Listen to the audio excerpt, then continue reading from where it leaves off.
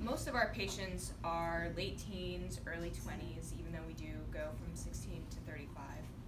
For a lot of them, um, their top goals are either getting a job or going back to school, sometimes both. Um, it's not uncommon for us to have a patient who has lost a job or had to drop out of school or take a medical leave of absence because they've been hospitalized or their symptoms have gotten so severe. So that's a really good hook for us.